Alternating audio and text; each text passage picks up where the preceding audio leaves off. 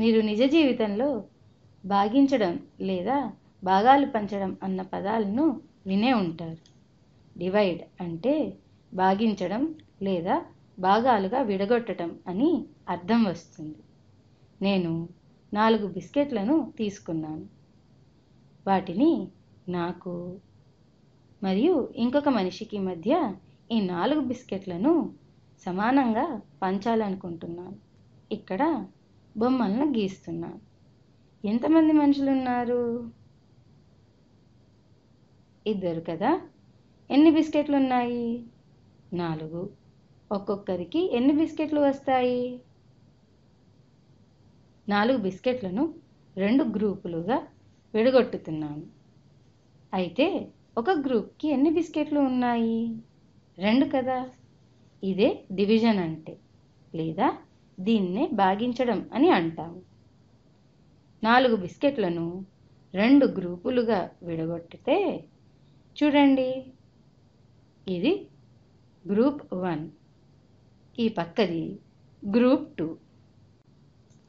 ప్రతి గ్రూప్కి ఎన్ని బిస్కెట్లు ఉన్నాయి ఒకటి మరియు రెండు అంటే రెండు బిస్కెట్లు ఉన్నాయి అలాగే పక్కనే ఉన్న రెండవ సమూహములోనూ ఒకటి మరియు రెండు. అంటే రెండు బిస్కెట్లు ఉన్నాయి అంటే ఇద్దరు మనుషులకు రెండేసి బిస్కెట్లు వస్తాయి.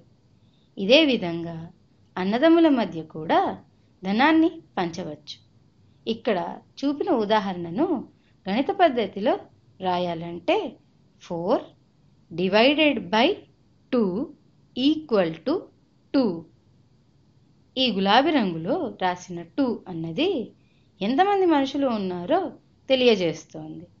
అలాగే ఇంకొక టూ అన్నది ఒక్కొక్కరికి ఎన్ని బిస్కెట్లు వచ్చాయో తెలియజేస్తుంది. ఇది గుణించుటకు పూర్తిగా వ్యతిరేకం. నా వద్ద రెండు సమూహములు ఉన్నాయనుకోండి. ప్రతి సమూహములోనూ రెండు బిస్కెట్లు ఉన్నాయనుకుంటే మొత్తం ఎన్ని బిస్కెట్లు ఉన్నాయి? అంటే మనము two into two equal to four అని రాయవచ్చు. భాగించడానికి మరియు గుణించడానికి గల తేడా స్పష్టంగా తెలియజేయాలంటే కొన్ని లెక్కలను చేయాల్సి ఉంటుంది. ఉదాహరణకు సిక్స్ డివైడెడ్ బై త్రీ విలువ ఎంత అని నేను అడిగితే దీన్ని అర్థం చేసుకోవడానికి బొమ్మల రూపంలో చూపిస్తాను. ఆరు వస్తువులను గీస్తాను. వస్తువులు బదులుగా వృత్తాలను గీస్తాను. ఒకటి రెండు మూడు నాలుగు ఐదు ఆరు. మొత్తం ఆరిటిని గీశాను. వీటిని మూడు గుంపులుగా లేదా సమూహాలుగా విడదీద్దాం. ఆరింటిని మూడు సమాన భాగాలుగా విడగొట్టాలంటే చూడండి. ఇలా. ఇది మొదటిది. ఇది రెండవ గ్రూప్. ఇది మూడవ గ్రూప్. ప్రతి గ్రూప్లోనూ లేదా సమూహంలోనూ ఎన్ని వస్తువులు ఉన్నాయి ఒకటి రెండు. ఒకటి రెండు. ఒకటి రెండు. అంటే ప్రతి సమూహంలోనూ రెండు వస్తువులు ఉన్నాయి కావున six divided by three equal to two అని రాస్తాను. ఇక్కడ మనము ఏం చేశాము ఆరు వస్తువులను మూడు సమాన భాగాలుగా చేశాము ప్రతి భాగంలో రెండు వస్తువులు ఉన్నాయి దీనినే సిక్స్ డివైడెడ్ బై త్రీని ఇంకొక విధంగా చేద్దాం. పక్కన ఆరిటిని మూడు సమాన భాగాలుగా చేశాం. ఇక్కడ మనము ప్రతి భాగానికి మూడు వస్తువులు ఉండేలా గ్రూప్లను చేద్దాం. ఇలా చేస్తే ఎన్ని గ్రూపులు వస్తాయి? చూడండి. ఇది మొదటి గ్రూపు ఇది రెండవది. కావున ఆరు డివైడెడ్ బై మూడు ఈక్వల్ టు రెండు అని రాస్తాను. అయితే ఆరు డివైడెడ్ బై మూడుకి మరియు ఆరు డివైడెడ్ బై రెండుకి గల తేడా ఏమిటి? పైన చేసిన లాగానే ఆరు వస్తువులను రెండు సమూహాలుగా చేయాలి. ఇవి ఒకటి రెండు మూడు నాలుగు ఐదు ఆరు. ఆరు వస్తువులను గీశాను. ఇది మొదటి గ్రూపు. ఇది రెండవది. ప్రతి గ్రూప్లో ఎన్ని వస్తువులు ఉన్నాయి ఒకటి రెండు మూడు.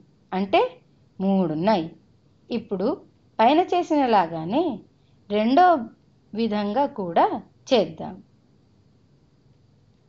Six divided by two. Six వస్తువులను గీస్తాను. ఒకటి రెండు మూడు నాలుగు ఐదు ఆరు. గుంపుకు రెండు వస్తువులు ఉండేలా భాగాలు చేస్తాను. ఎన్ని గ్రూపులు వచ్చాయి? ఇది ఒకటి ఇది రెండవది ఇది మూడవది. కావున six divided by two equal to three వచ్చింది. చూడండి. పైన six divided by three equal to two వచ్చింది కదా? అలాగే six divided by two equal to three వచ్చింది. దీన్ని క్లియర్గా కింద మళ్ళీ రాస్తాను. Six divided by three equal to two మరియు six divided by two equal to three చూడండి. టూ మరియు త్రీ వాటి స్థానాలను మార్చుకున్నట్టుగా ఉంది కదా? ఇది ఎందుకంటే two into three equal to six కావున. చూడండి రెండు గ్రూపుల్లో మూడేసి వస్తువులను తీసుకుంటే మొత్తం ఎన్ని వస్తువులు ఉన్నాయి? ఆరు. దీనినే two into three equal to six అని రాయొచ్చు. అలాగే రెండేసి వస్తువులను ఒక సమూహంగా చేసి మూడు సమూహాలను రాస్తే అది three into two equal to six అని రాయొచ్చు కదా? అంటే two into three equal to six అలాగే three into two equal to six అన్నది మనము గుణించటం గురించి చెప్పిన వీడియోలో గుణించడానికి ఏ క్రమంలో గుణిస్తున్నాము అన్నది ముఖ్యం కాదని తెలుసుకున్నాం కదా? ఏ క్రమంలో గుణించినా లబ్ధం సమానంగానే వస్తుంది. కావున ఆరు వస్తువులు ఉంటే రెండు గ్రూపులుగా విడగొట్టాలంటే మూడు వస్తువులు ప్రతి గ్రూప్లో ఉంటాయి. అలాగే మూడు గ్రూపులుగా విడగొట్టాలంటే రెండు వస్తువులు ప్రతి గ్రూప్లోనూ ఉంటాయి. ఇంకొక ఉదాహరణను చూద్దాం. Nine divided by four. దీనిని ఎలా చేయాలి? సరే ముందు తొమ్మిది వస్తువులను గీస్తాను. ఒకటి రెండు మూడు నాలుగు ఐదు ఆరు ఏడు ఎనిమిది తొమ్మిది. ఇవి మొత్తం తొమ్మిది వస్తువులు.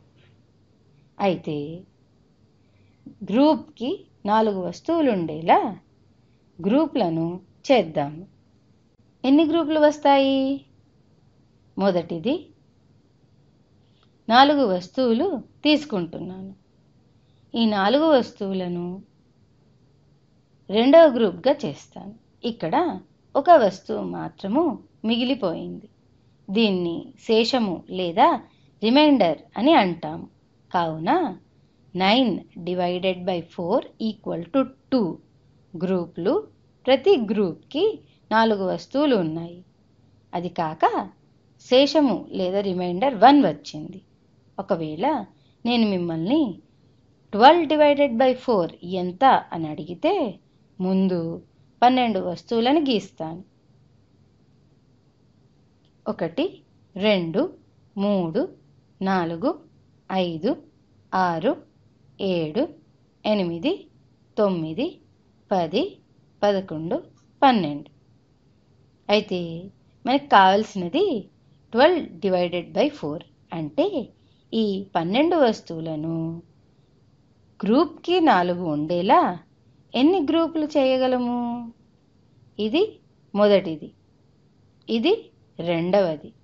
ఇది మూడవది. కావున twelve divided by four equal to three అని రాయవచ్చు. అయితే ట్వెల్వ్ డివైడెడ్ బై త్రీ ఎంత? ఇది ఫోర్ అవ్వాలి. ఎందుకంటే three into four equal to twelve కావున. దీనిని మనం ఇప్పుడు నిరూపిద్దాం. మళ్ళీ పన్నెండు వస్తువులను గీస్తున్నాను. గ్రూప్కి మూడు వస్తువులు ఉండేలా ఎన్ని గ్రూపులు చేయగలను? గీస్తాను. ఒకటి రెండు మూడు నాలుగు ఐదు ఆరు ఏడు ఎనిమిది తొమ్మిది పది పదకొండు పన్నెండు. గ్రూప్కి మూడు ఉండేలా ఇది మొదటి గ్రూప్. ఇది రెండవది. ఇది మూడవది. ఇది నాలుగవది. ఇలా గ్రూపులు చేసి లేక అడ్డంగా మూడు వస్తువులను ఒక గ్రూప్గా తీసుకున్న ఒకటి రెండు మూడు నాలుగు. మొత్తం నాలుగు గ్రూపులు వచ్చాయి. చూడండి. అడ్డంగా మూడేసి వస్తువులను ఒక గ్రూప్గా చేశాను. ఇక్కడ కూడా నాలుగు గ్రూపులే వచ్చాయి.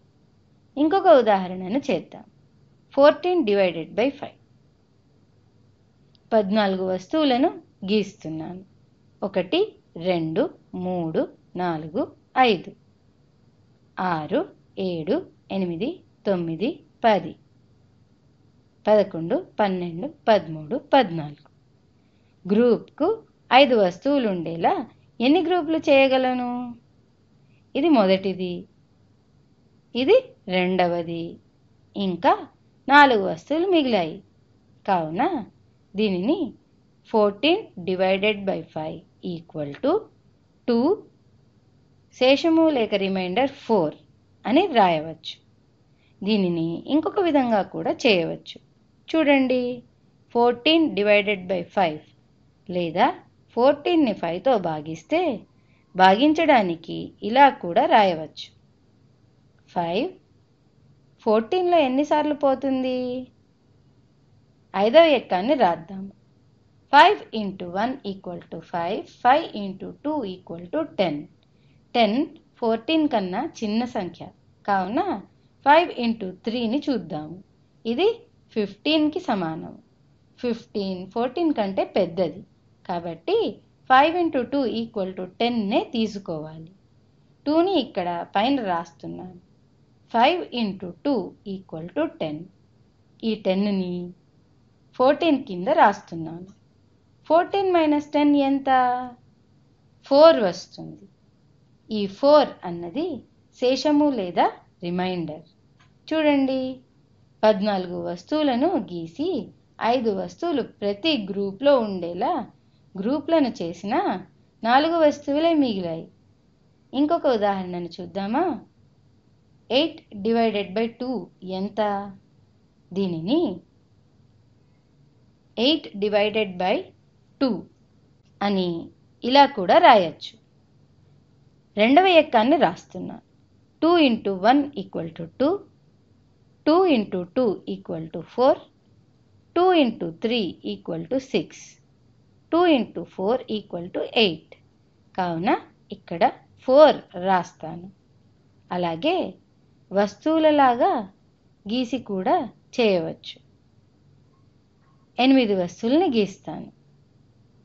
ఒకటి రెండు మూడు నాలుగు ఐదు ఆరు ఏడు ఎనిమిది. ఒక క్రమ పద్ధతిలో గీయకపోయినా కూడా గ్రూపులుగా చేయవచ్చు కదా? ప్రతి గ్రూప్కి రెండు వస్తువులు ఉండేలా ఇది మొదటి గ్రూపు. ఇది రెండవది. ఇది మూడవది. మరియు ఇది నాలుగవది. కావున ఎనిమిది వస్తువులను ఒక సమూహంలో రెండేసి వస్తువులు ఉండేలా నాలుగు గ్రూపులుగా విడగొట్టవచ్చు. మీకు ఇది బాగా అర్థమైందనుకుంటాను?